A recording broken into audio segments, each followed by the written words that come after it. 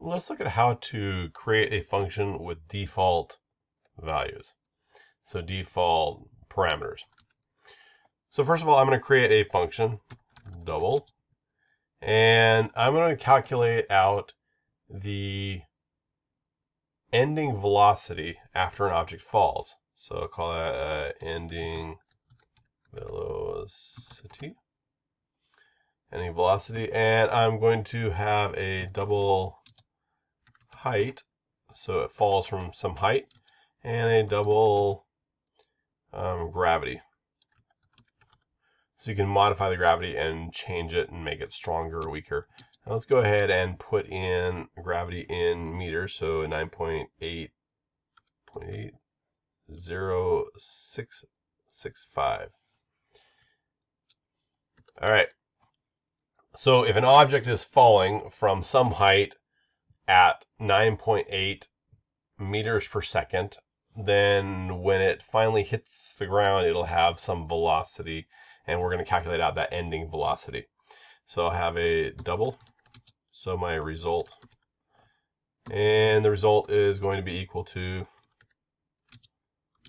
my height times gravity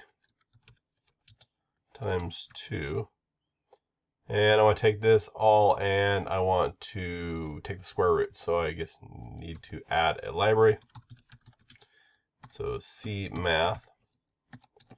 And then I can go ahead and take the result here. That's the square root of my previous result number, and then I can return this result. All right, so let's go ahead and check this out or run, run some code.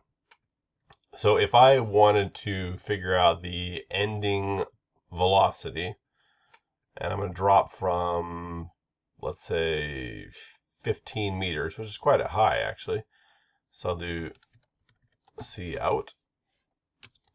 And I can then say ending velocity and 15 to, for 15 meters. And then I can go ahead and end my line here and print this out. Now, if I'm falling from, let's go ahead and say this is on Earth. Falling 15 meters on Earth.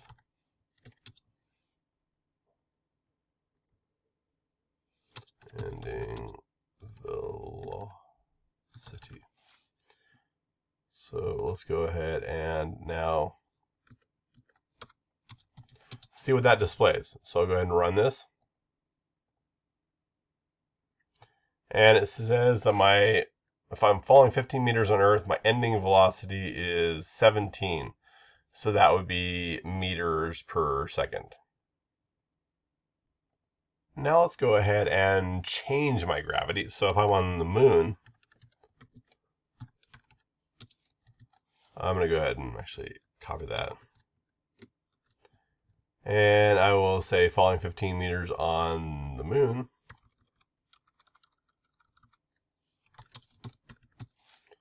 The ending velocity would be the same, same height, but I'm going to pass in an additional variable now because gravity is going to be 1.62.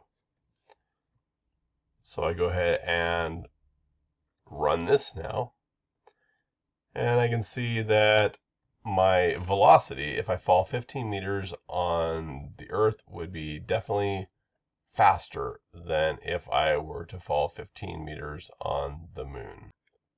And these things should help you to figure out how to set default variable values in functions.